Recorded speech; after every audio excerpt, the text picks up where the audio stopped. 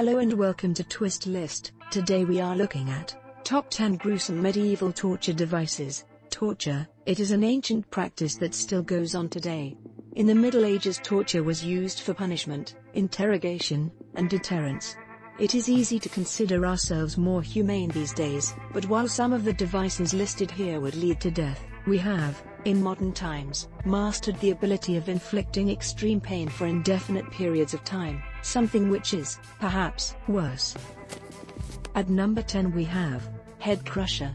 With the head placed under the upper cap and the chin placed above the bottom bar, the top screw of this awful device was slowly turned, compressing the skull tightly. First the teeth are destroyed, shattering and splintering into the jaw.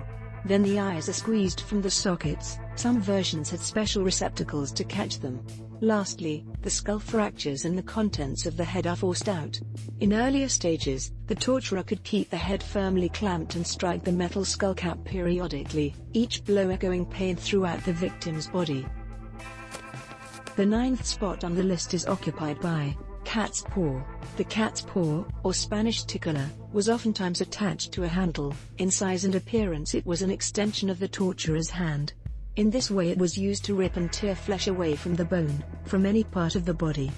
The number 8 on our list is knee splitter, a popular torture device during the Inquisition. The knee splitter does what it says, split victims' knees and render them useless. Built from two spiked wood blocks, the knee splitter is placed on top of and behind the knee of its victims. Two large screws connecting the blocks are then turned, causing the two blocks to close towards each other and effectively destroy a victim's knee. This device could also be used to inflict damage on other parts of the body such as the arms. At number 7 we have Scavenger's Daughter. The Scavenger's Daughter was invented as an instrument of torture in the reign of Henry VIII by Sir William Skevington also known as William Skeffington, Lieutenant of the Tower of London.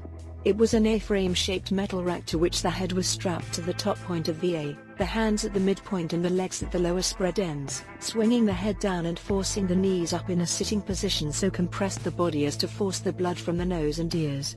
The Scavenger's daughter was conceived as the perfect complement to the Duke of Exeter's daughter, the rack, because it worked the opposite principle to the rack by compressing the body rather than stretching it.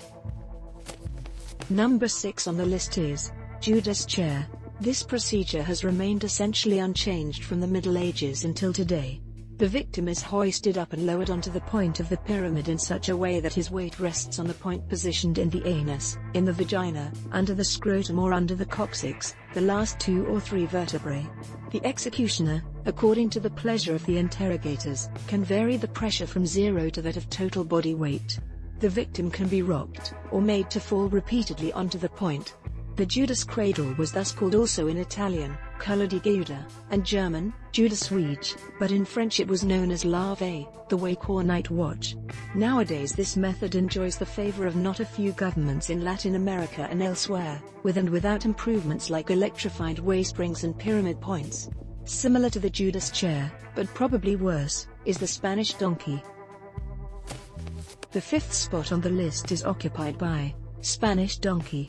The Spanish donkey was a device which consisted of a main board cut with a wedge at the top fastened to two cross beams.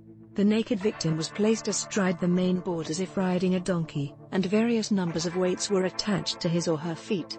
The agony could be fine-tuned by using lighter or heavier weights.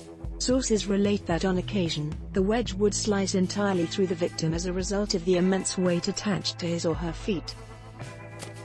Number 4 on the list is choke pear. These instruments were used in oral and rectal formats, and in the larger vaginal one. They are forced into the mouth, rectum or vagina of the victim and they're expanded by force of the screw to the maximum aperture of the segments. The inside of the cavity in question is irremediably mutilated, nearly always fatally so. The pointed prongs at the end of the segments serve better to rip into the throat, the intestines or the cervix.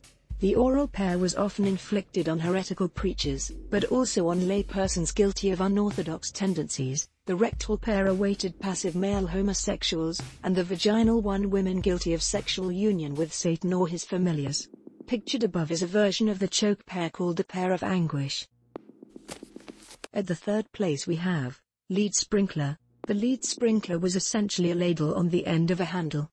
The top half of the sphere could be removed and the lower half was filled with molten metal, boiling oil, boiling water, pitch or tar.